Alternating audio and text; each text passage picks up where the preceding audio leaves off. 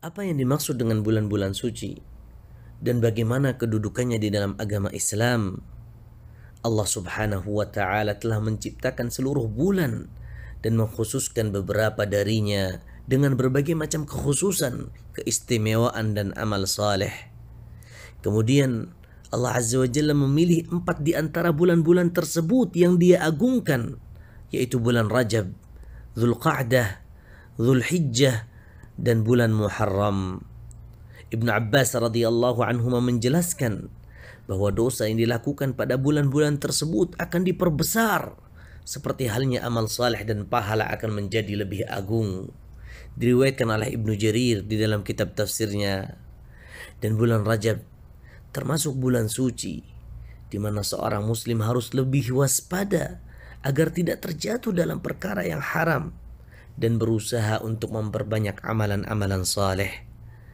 Di antara yang harus diwaspadai pada bulan ini adalah kesalahan-kesalahan yang sering dilakukan oleh banyak orang. Seperti mengkhususkannya dengan ibadah salat yang dinamakan dengan salat raghaib.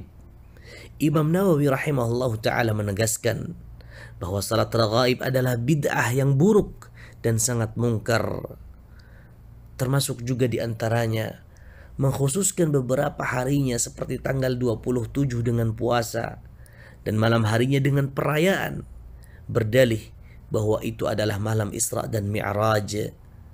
Al-Hafidh Ibn Hajar rahimahullahu taala menjelaskan tidak pernah ada satupun hadis yang sahih yang bisa dijadikan hujjah yang menunjukkan anjuran puasa pada sebagian harinya ataupun anjuran salat pada sebagian malamnya.